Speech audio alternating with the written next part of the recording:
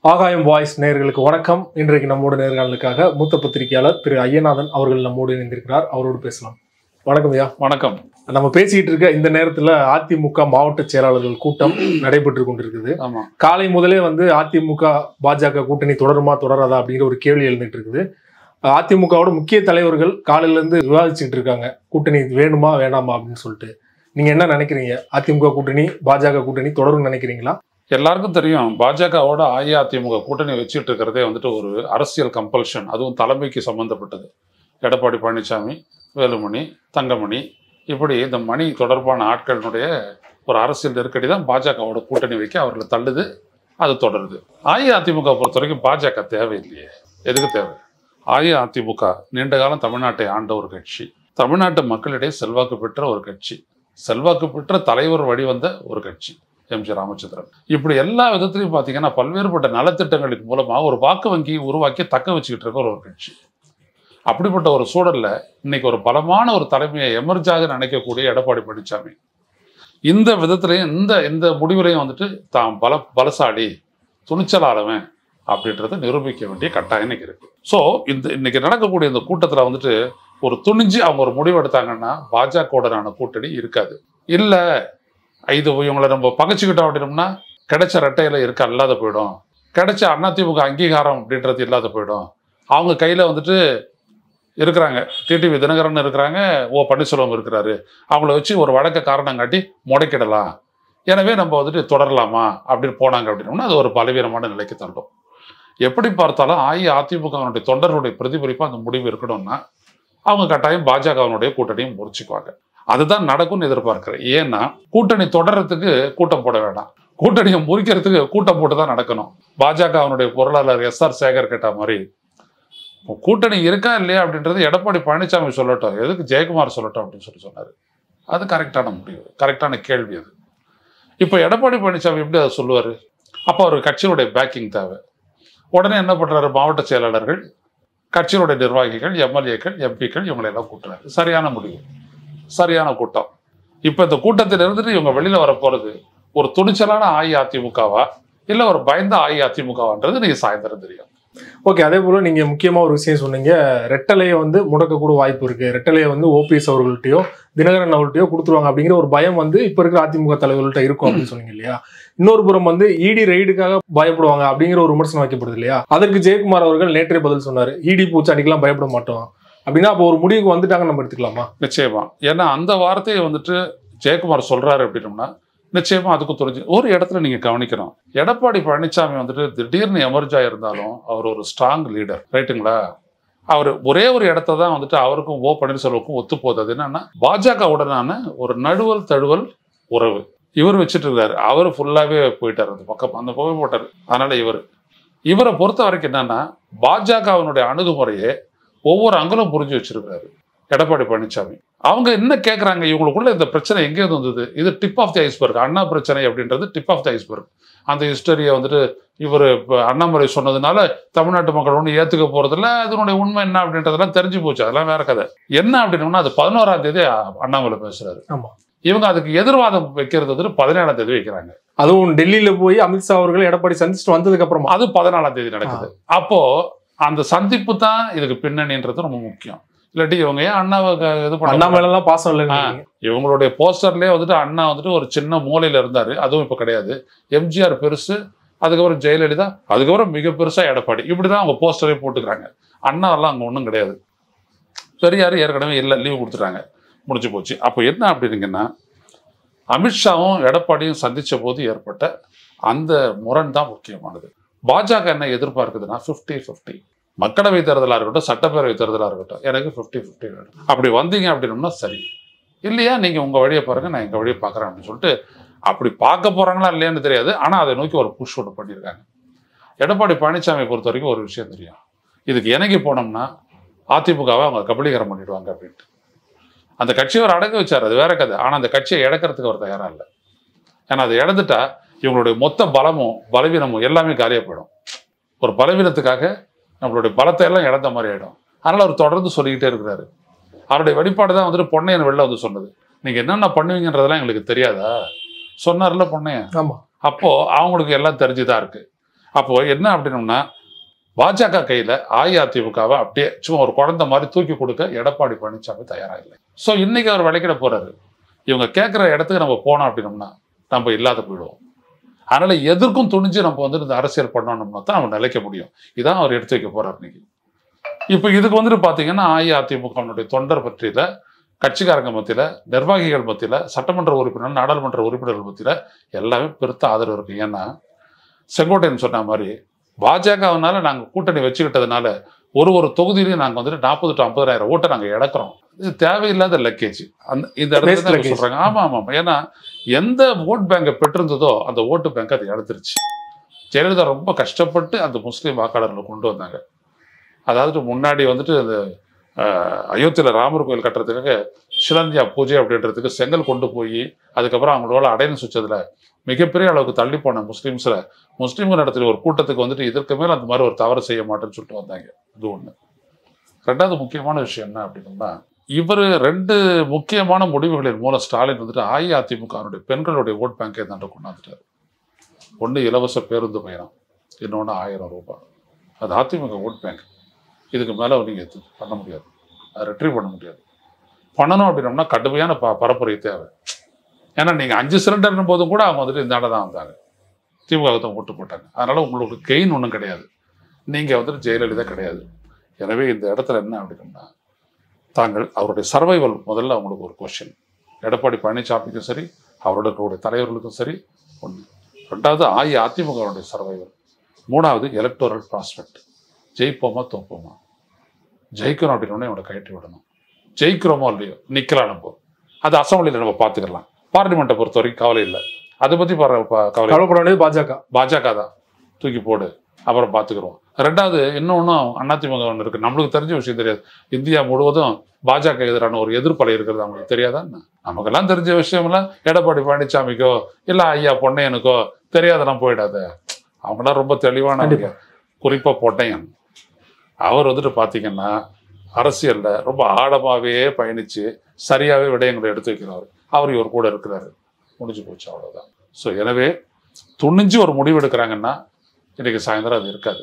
பயந்து ஒரு முடிவு எடுக்கிறாங்கன்னா கூட்டணி தொடரும் அப்போ என்ன வரும்னா ஒரு தீர்மானம் போட்டு எடப்பாடி பழனிசாமி அவர்களே இறுதி முடிவு எடுப்பார். அதுவும் தேர்தல் நேரத்தில் எடுப்பார். அப்படின்னு சொல்லிட்டு ஒரு காகிதம் கொடுப்பாங்க அவ்வளவுதான். பயம்ன்றது ஒரு அளவுக்கு தான். ஒரு விஷயம் பிஜேபியால் பழனிசாமியை மிரட்ட முடியாது. தீர்மானமாக நான் சொல்கிறேன் ஓகே ஏன்னா ஊழலை பத்தி உனக்கு தான் பேச தெரியுமா? ஏன் எங்களுக்கு தெரியாதா நீங்க ஊழல்ல வேணா பண்ணி பாரு. நாங்க அதை நீதிமன்றத்தில் வைக்கிறோம் அப்படின்னு சொல்லிட்டு கூடிய தைரியம் எடப்பாடி பழனிசாமி உண்டு ஸ்டாலின் உண்டு ரெண்டு பேருக்கும் உண்டு. நீங்க நோ தூயவர்கள் மாதிரி எங்களை பார்த்து ஊழல் கீழல்னு சொன்னீங்கன்னா அதில் வேற எங்கன்னா வச்சுக்கோ அப்படின்ட்டு ப ஜெயக்குமார் வச்சு அவங்க பதிலடி கொடுக்க ஆரம்பிப்பாங்க. நீங்க சொன்னது மாதிரி அப்ப ஈடிக்கு பயப்படலனா இந்த முடிவை முன்னாடியே எடுத்திருப்பாங்க இல்லையா? ஏன் இவ்வளவு தூரம் தாமதம்? இவ்வளவு நாள் பாஜக அடிபணிந்து போக வேண்டிய சூழலே வந்திருக்காது இல்லையா? திமுக ஆட்சியை கரைக்கணும். மக்களவை தேர்தலோட சட்டப்பேரவை தேர்தல் நடத்துறோம் அப்படின்ற ஒரு எஜெண்டா இருக்குதுல்ல எடப்பாடிக்கு ஸோ அந்த எஜெண்டாவுக்கு தான் அந்த ஃபிஃப்டி ஃபிஃப்டின்னு அவங்க எதிரில் வைக்கிறது. அது முன்னாடியே சொல்லியிருக்கேன் நானே இப்போ சொல்றேன். ஓகே ஆமா. ஏன்னா அமாவாசை கணக்கெல்லாம் சொன்னது எடப்பாடி பழனிசாமி தானே? ஆமா. அப்புறம் முப்பது அமாவாசை இருக்குதுன்னு எதுக்கு சொன்னாரு. ரெண்டரை வருஷம் தானே கணக்கு போட்டு சொன்னீங்க? ஏன் ஒரே நாடு ஒரே தேர்தல் வந்தா சட்டமன்ற தேர்தல் சேர்ந்து வரும்னு சொன்னாங்க. சேர்ந்து வரும்னு சொன்னார்ல அவரு. அப்போ எல்லாரும் யாரு? அங்கிளை நம்பி தானே பண்ணது? ஜி அங்கிளை அப்புறம் அவங்க என்ன பண்ணுவாங்க? உனக்கு அதை வேணும்னா எனக்கு இதை கொடு அப்படின்வாங்க எடப்பாடி பழனிசாமி வரைக்கும் இருபது சீட் அஞ்சு சீட் அப்படின்றது அவர் உறுதியாக இருக்கார். அவர் என்ன சொல்கிறாரு உங்கள் ஆட்சி அமைக்கணும். அதுக்கு நாங்கள் ஆதரவு தரோம். ஆனால் சீட் எங்ககிட்ட தான் இருக்கணும். இது புரியாத அமித்ஷாவுக்கு? எடப்பாடி ஸ்ட்ராங்கா இருக்கிறாருன்னு இப்போ நீங்க சொன்னது மாதிரி கூட்டணி முடிஞ்சனா இழப்பு வந்து பாஜகவுக்கு தான் அதிமுகவுக்கு இல்லைன்னு சொன்னாலுமே பாஜக எப்படி ஒத்துப்பாங்கன்னு நினைக்கிறீங்க? கூட்டணி இல்லாம கண்டிப்பா ரெண்டாயிரத்தி இருபத்தி நாலு அப்படிங்கிறது முக்கியமான தேர்தல். ஏன்னா பொதுவா வைக்கப்படுற விமர்சனம் என்னன்னா அதிமுக நினைச்சாலும் கூட்டணில இருந்து வெளில போக முடியாது. கூட்டணி முடிவுனாலுமே அது பாஜக தான் முடிவு பண்ணணும் அப்படிங்கிற ஒரு விமர்சனம் வைக்கப்படுது இல்லையா? இவ்வளவு நாள் ஜெயலலிதா அவர்கள் இருந்த வரைக்கும் அதிமுக பாஜக தலைவர்கள் எல்லாமே போயஸ் கார்டனுக்கும் வந்து பார்த்துட்டு போவாங்க. ஆனா அதிமுக ல இருக்க சின்ன சின்ன பிரச்சனை கூட வந்து இவங்க அமித்ஷா பாக்குறதும் மோடியை பாக்குறதும் நட்டாவை பார்க்கும்போது ஒரு சந்தேகம் வரதானே செய்யுது இல்ல அப்படியெல்லாம் போய் பார்க்கல. அவங்களுக்கு ஒண்ணே ஒண்ணு என்ன அப்படின்னம்னா சுயமரியாதையை விட்டுட்டு நாங்க உங்களோட கூட்டணி இருக்க மாட்டோம்ன்றத வேற ஒரு மொழியில சாஃப்டா சொல்றாங்க இவ்வளவுதான் ஓகே. நாங்க எங்களுடைய சுயமரியாதை எங்களுடைய கொள்கை எங்களுடைய இதெல்லாம் விட்டுட்டுலாம் நாங்கள் உங்களோட வர மாட்டோம் நம்மள்கிட்ட இருக்கிறது ஒரு அலையன்ஸ் இந்த அலையன்ஸை கௌரவமா காப்பாத்தீங்க. முன்னாடி எடப்பாடி என்ன சொன்னாரு? யார் இவர் இவருக்காக என்ன பார்த்து எங்கிட்ட பதில் கேட்குறீங்க அப்படின்னு சொன்னாரா இல்லையா? இதை விட வந்துட்டு அண்ணாமலையை தட்டி கீழே தூர தூக்கி போடுறது யாருமே சொல்லலையே. ஸ்டாலின் கூட அப்படி சொல்லலையே. யார் இவர்? ஏன்னா இவரெல்லாம் பத்தி என்கிட்ட கேள்வி கேட்குறீங்க சொன்னாரல்ல. அப்போ அவ்வளோ தூரம் துணிச்சல் மிக்கவர் அவருக்கு தெரியும்ல விஷயம் என்னன்ட்டு. எனவே இந்த இடத்துல அவர் உடச்சி தூக்கி போட்டு போயிடுவார். அது வேற ஒன்று அமித்ஷா பண்றதை வந்துட்டு மோடி பண்ண மாட்டார். ஓகே. மோடிக்கு தேவை வந்துட்டு அடுத்தபடியாக சீட்டில் உட்காரணும். அதுக்கு தமிழ்நாட்டில் இருந்து அஞ்சு பேர் ஆதரவு இருந்தாலும் பரவாயில்ல பத்து பேர் ஆதரவு இருந்தாலும் பரவாயில்ல மூணு பேர் ஆதரவு இருந்தாலும் பரவாயில்ல. அமித்ஷாக்கு தேவையில்லை. கவனிங்க இந்த முரணை ம். புரியுதுங்களா? கடைசி அல்டிமேட்லி இந்த விடயத்தை என்னைக்கு ஒருவேளை முறிவு அறிவிச்சாங்கன்னா மறுபடியும் கூட்டணின்ற விடயத்தை மோடி தான் முடிவெடுக்க வேண்டியதாக இருக்கும். அமித்ஷா இருக்க மாட்டார். சொல்லிடுவாங்க அமித்ஷாலாம் இங்கே உள்ளே வரக்கூடாது விட்டுருவாங்க. நீங்கள் வாங்க பேசுங்க. ஆனால் நீங்கள் வரந்து பேசக்கூடிய கூட்டம் வந்துட்டு நாங்கள் ஏற்பாடு பண்ணுற கூட்டத்தில் நீங்கள் வந்து பேசணும் அப்படின்ற அளவுக்கு போயிடுவாங்க. அதிமுக பொறுத்த வரைக்கும் ஒரு ஸ்ட்ராங்கான கட்சிங்க அது. ஊழல்ன்ற ஒரு இடம் தான் அவங்களுடைய பலவீனம். அவங்க ஒன்றும் ஒரு நொண்டி கட்சியெலாம் ஒன்றும் கிடையாது. பட் இது கால் ஒன்றாத கட்சி இல்லை இது இவங்க ஒரு இமேஜை பில்டப் பண்ணுறாங்க எங்களோட இருந்தால் தான் உங்களால் ஜெயிக்க முடியும் அப்படின்னா என்ன அர்த்தம் அண்ணாமலை சொல்கிறாருல்ல எங்களோட இருந்தால் ஜெயிக்க முடியும் அப்படின்னா அப்படின்னா இவிஎம் திருட்டுத்தனத்தை பண்ணுவீங்க அப்படின்றது அர்த்தம் அது இல்லையா? அது தமிழ்நாடு தயாராக தான் இருக்கு அதுக்கு. அதே மாதிரி அதிமுக தலைவர்கள் முக்கியமா வைக்கப்பட்ட கோரிக்கை என்னன்னா அண்ணாமலையை வந்து பாஜக தலைவர்கள் இருந்து எடுக்கணும் அப்படின்னு சொல்லி தான் ஒருவேளை அண்ணாமலையை வந்து பாஜக தலைமை வந்து நீக்குனாங்கன்னா கூட்டணி தொடரும் அப்படி எடுத்துக்கலாமா? பாஜக பெரிய பலவீனம் ஆயிடும்ல. என்ன இந்த விடயத்தில் வந்துட்டு பார்த்தீங்கன்னா மோடி நான் கமிட்டலாக தான் இருக்காரு. புரியுதுங்களா? இப்போ அமித்ஷா ஆள் தான் அவர். அவர் ஒரு ஆடிக்கிட்டு இருக்கிறாரு அவ்வளோதான் இப்போ அண்ணாமலையை பொறுத்த வரைக்கும் அவரோட கட்சியை வளர்த்துட்டாரா? அதெல்லாம் ஒன்றும் கிடையாது. பாஜகவை பொறுத்த வரைக்கும் என்ன? எதுவாக இருந்ததுனாலும் ஒரு டிகோஷியேட் ஒரு ஒரு ஒரு டீலை ஒன்று தான் பேசுவாங்க. சரி நான் அண்ணாமலை நிற்கிறேன் வா இருபது ஃபிஃப்டி ஃபிஃப்டிக்கு வா. ஒதுவாங்களே இவங்க? அண்ணாமலை இவங்களுக்கு ஒரு பொருட்டே கிடையாதுங்க. சும்மா அவங்கள முன் வச்சு ஒரு மிரட்டல் எதிர் மிரட்டலை விடுறாங்க. அவ்வளோதான் இப்போ நீங்கள் சொன்னது மாதிரி அண்ணாமலை வந்து கட்சியை வளர்த்துட்டாரா அப்படின்னு கேட்டிங்க இல்லையா? கட்சியை வளர்க்காட்டினாலுமே தினந்தோறும் வந்து அதிமுக எதிர்க்கட்சி இல்ல பாஜக தான் எதிர்க்கட்சி அப்படிங்கிற ஒரு டிபேட் கொண்டு வந்தாரு. அது போல வந்து நெகட்டிவாவோ பாசிட்டிவாவோ பாஜக வந்து டெய்லி வந்து பேசு பொருளா வச்சுக்கிட்டு இருக்காரு இல்லையா? ஏன்னா தமிழிசை அவர்கள் இருக்கும்போது இந்த மாதிரி இல்ல எல்முருகன் அவர்கள் இருக்கும்போது இந்த மாதிரி இல்ல. இதுவே அவங்களுக்கு ஒரு லாபம் தான் இல்லையா? இல்ல இப்ப இருக்கிற இதுல வந்துட்டு ஊடகங்கள்ல கோதி மீடியான்றது எப்போ இருந்துச்சு? ரெண்டாயிரத்தி பதினாலுக்கு அப்புறமா. அப்படின்னு கோதி மீடியா அப்படின்னு ஒண்ணு உருவாச்சு. குறிப்பா ரெண்டாயிரத்தி பதினாலுக்கு அப்புறமே அண்ணாமலைக்கு ஆமா, தலைவர்கள் இருந்திருக்காங்க. ஆனால் அவங்களாம் என்னென்னா அரசியல் அரசியலா பண்ணிட்டு போனாங்க. இவர் ஒன்றும் அப்படிலாம் ஒன்றும் இல்லை. இவர் தன்னை நிலைநிறுத்தி அவர் ஒரு அரசியல் பண்ணுறாரு பின்னாடி இருக்கக்கூடிய அவர் யதார்த்தங்களை எல்லாம் எடுத்து வெளில தூக்கி போடுறாரு. ஏன்னா நாங்கள் எல்லாத்தையும் ஜெயிக்க முடியாது. நாங்கள் எல்லாத்தையும் நீங்கள் இல்லை. நாங்கள் நினச்சா ரைடு விடுவோம். இப்படியெல்லாம் எந்த பாஜகனாவது எங்காவது பேசுவானா? அப்போ இவர் தூண்டி விடப்பட்டு பேசுறாரு இவர். ஸோ அதனுடைய விளைவு என்ன? அது ஒரு ரிஸ்க்கு ஒன்று இருப்பாங்க. அடிமைப்பட்டா இருப்பாங்க. துணிஞ்சிட்டாங்கன்னா உன்னை எதிர்த்துருவாங்க. உன்னை எதிர்த்தரா நீ தாங்குவியா? ஒரே கேள்விதான். அதிமுக எதிர்த்துச்சு அப்படின்னா தாங்குவார் அவரு. இன்னைக்கு இவர் மட்டும் பேசுறாரு. தெருவுக்கு தெரு பேசுறதுக்கு அதிமுக இருக்கான். சரிங்களா உரிச்சு எடுத்துருவான். நீ காத்தால இங்க வந்தீனாலே அந்த இடத்துலயே கூட்டம் போட்டு பேசுறதுக்கு அதிமுக வர முடியும். ஏற்கனவே அதிமுக மகளிர் அணிலாம் பாஜக தலைவர்கள்லாம் வந்து பாருன்னு சொல்லி. அப்படிலாம் சொல்லியிருக்காங்க. எனவே அந்த கட்சியினுடைய இதெல்லாம் வேற. அவங்க வந்துட்டு உள்ள வந்தாங்க எதிர்த்து அப்படின்னோம்னா அண்ணாமலையினுடைய நடைப்பயணம் அப்படின்றதே வந்துட்டு அதுக்கப்புறம் பிணப்பயணமாக தான் இருக்கும். பிணப்பயணம் அப்படின்றது சென்சிட்டிவ் டை அந்த பயணம் வந்துட்டு நின்று போயிடும். அந்த அளவுக்கு தான் ஆகும். எனவே அதான் சொல்ல வரேன். சி அதிமுக ஒரு ஸ்ட்ரென்த்துங்க அது. தமிழ்நாட்டினுடைய ஒரு ஸ்ட்ரென்த் அதை இவங்க காலி பண்ணாங்க. ரெண்டாயிரத்தி பதினாறு ஜெயலலிதா படுத்த படுக்கையானதுக்கு பிற்பாடு இவங்க காலி பண்ணாங்க. தமிழருடைய உரிமை தமிழ்நாட்டுடைய உரிமையெல்லாம் விட்டு கொடுத்தாங்க. ஒரு செயல்படாத ஒரு துணிஞ்சு முடிவெடுக்க முடியாத ஒரு கட்சியாக இருந்தாங்க. ஏன்னா பதவியை காப்பாற்றிக்க வர மாட்டாங்க இன்னைக்கு வந்துட்டு என்ன அப்படின்னம்னா இருக்கணுமா இருக்கக்கூடாதா? இன்னைக்கு மக்கள் மத்தியில் மரியாதையோட ஒரு கட்சியாக இருக்கணுமா இருக்க முடியாதா? அப்படின்ற இடத்துக்கு அவங்க வந்துட்டாங்க. எனவே அதை வச்சு தான் இவங்க முடிவெடுப்பாங்களே ஒழிய அப்படிதான். ஸோ எயிட்டி பர்சன்ட் கட்டாயம் பிரேக் டுவெண்ட்டி பர்சன்ட் நடுவல் தடுவல் அதாவது அந்த உரிமையை நாங்கள் கொடுக்குறோம். எடப்பாடி பழனிசாமி அவர்களே முடிவு செய்வார் அப்படின்னு சொல்லி பண்ணுவாங்க. அப்போ என்ன ஆகும்னா அவங்களுக்கு ஒரு மெசேஜ் எல்லாத்தையும் எடப்பாடி பழனிசாமி தான் முடிவெடுப்பார் அப்படின்ட்டு. அப்போ இங்கே வந்துட்டு ஒரு ஏக்நாத் சிண்டையை உருவாக்க முடியாது. தமிழ்நாட்டை பொறுத்த வரைக்கும் பெரும்பாலான மக்களோட மனநிலை வந்து பாஜக எதிர்ப்பு அப்படின்னு தான் இருக்குது இல்லையா? ஒருவேளை வந்து அதிமுக பாஜக கூட்டணி முறிவு ஏற்பட்டனா அதிமுக தலைவர்கள்லாம் பாஜக வந்து விமர்சனம் பண்ணுவாங்கன்னு நினைக்கிறீங்களா? தேர்தல் பரப்புரையின் போது? ஈஸி. அவங்க பண்ண வேணாம் அதெல்லாம் திமுக பண்ணிட்டு ஸ்டாலின் பார்த்துட்டு போயிடுவாரு. இவங்க ஸ்டாலினை பரிசு வரப்புரை பண்ணணும். ஏன்னா ஓட்டு இந்தாண்ட தான் போக போகுது. இவங்க என்ன பண்ணுவாங்க அப்படின்னோம்னா ஜெயக்குமார் சொன்ன ஒரு வார்த்தை நீங்க கவனிக்கணும். ஒரு விரிவான கூட்டணி பெரிய கூட்டணி அமைப்போம் அப்படின்னு. அதனுடைய அர்த்தம் தான் திமுக கூட்டணி கட்சியில இருந்து நிறைய கட்சிகள் இந்த பக்கம். ஆ. அதெல்லாம் ஒன்றும் வரமாட்டாங்க. எல்லாருக்கும் கலர் நிலை வர பாஜக மாட்டாங்க வரமாட்டாங்க. வரமாட்டாங்க அஹ், நீங்க அந்த விடுதலை சிறுத்தைகள் இந்த மாதிரி. ஆமா. ஆஹா வரமாட்டாங்க. வர மாட்டாங்க வரமாட்டாங்க ஒன்று பாட்டாளி மக்கள் கட்சி அடுத்தபடியாக கிருஷ்ணசாமி அடுத்தபடியாக ஜான் பாண்டியன் அந்த மாதிரி எல்லாரையும் எடுத்து இவங்க கொண்டாந்துருவாங்க உள்ள. இப்போ நீங்கள் கத்தால வந்துட்டு பார்த்தீங்கன்னா ஒரு தொலைக்காட்சியில் செய்தி வந்தது எடப்பாடி பழனிசாமி நாம் தமிழர் கட்சியினுடைய சீமானோட பேசிட்டு இருக்கிறாரு அப்படின்ட்டு. புரியுதுங்களா? சீமானுக்கு என்னென்ன திமுக அழிக்கணும் அப்படின்னு சொல்லிட்டு தம்பி நம்மளோட எதிரி வந்தாண்டா அப்படின்னு சொல்லிட்டு உடனே ஆரம்பிப்பாரு. ஸோ ஒரு அலையன்ஸாகவும் ஆகலாம். இப்படிதானே வந்துட்டு முடிஞ்சுது. விஜயகாந்தனுடைய விதி. அதனால இவருடைய விதி இந்த மாதிரி முடியணுன்றதுன்னா யாரால தடுக்க முடியும்? எனவே அப்படி வந்தாங்க அப்படின்னம்னா அதிமுகவை பொறுத்த வரைக்கும் அது ஒரு ஸ்ட்ரென்த்து பாஜகவை பொறுத்த வரைக்கும் அவங்க எம்டியாக தான் நிற்கணும் பாஜகவோட ஒரு கட்சி போகுது அப்படின்னம்னா எதுக்காக போக முடியும்? இல்ல பெரும்பாலான தமிழ்நாட்டு மக்கள் வந்து நாம் தமிழருக்கு வாக்களிப்பதற்கு காரணமே வந்து திமுக அதிமுக கூட கூட்டணி இல்ல. நாங்க கட்சி ஆரம்பிச்சதே வந்து திமுக அதிமுக வந்து ஒழிக்கிறது? தான் அந்த இடத்த நாங்க பிடிப்போம்னு சொல்லி தான் இப்போ வந்து மறுபடியும் நீங்க ஏற்கனவே மேற்கோள் காட்டினபடி தேமுதிக மாதிரி கூட்டணிக்குள்ள போனோம்னா அது அவங்களுக்கு சரிவு தானே ஏற்படுத்தும்? இல்ல அவர் என்ன ஒரு கட்சியா வச்சுட்டு இருந்தாரு. அவர் அவருடைய சொந்த கட்சி நடத்துறாரு. இது என் கட்சி. நான் தான் முடிவெடுப்பேன் நான் தான் அழிப்பேன். நான் தான் உருவாக்குவேன். நான் தான் நீந்துவேன். நான் தான் பாக்ஸிங் பண்ணுவேன் அப்படின்னு நான் நான் நான் சொல்லிட்டு இருந்தவர்.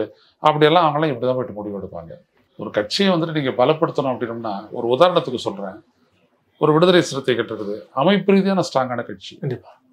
நாலு பேர் இன்னைக்கு எம்எல்ஏ ரெண்டு பேர் பொது தொகுதி. உங்களால நினைச்சு பார்க்க முடியுமா? என்னைக்கு தாழ்த்தப்பட்ட மக்களினுடைய நலனை நாடி நின்ற ஒரு கட்சி பொது தொகுதியில் ஜெயிச்சிருக்குது.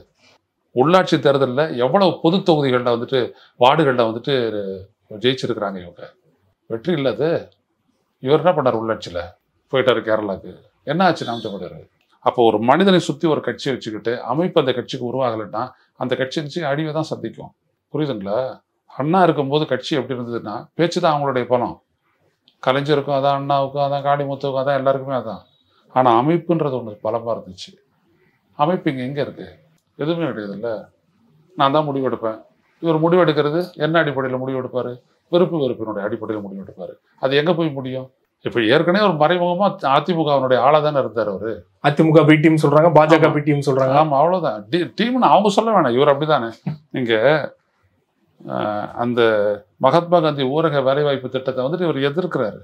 பள்ளி கல்லு பள்ளி போகிற மாணவர்களுக்கு வந்துட்டு காத்தால டிஃபன் கொடுக்கறதை எதிர்க்கிறாரு. இலவசங்களை எதிர்பண்றாரு தான் மோடியினுடைய திட்டமே. இலவசங்களை எல்லாம் இவர் எதிர்ப்பாராம் காமராஜர் கொடுக்கும்போது இலவசம் சரி.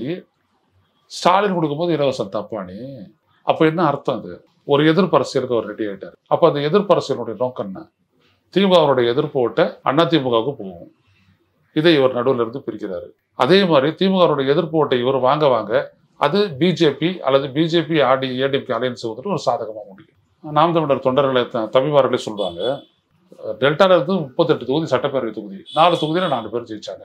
காமராஜ் அப்புறம் இன்னொருத்தர் நாலு நாலு பேர் அமைச்சர்கள் ஜெயிச்சாங்க.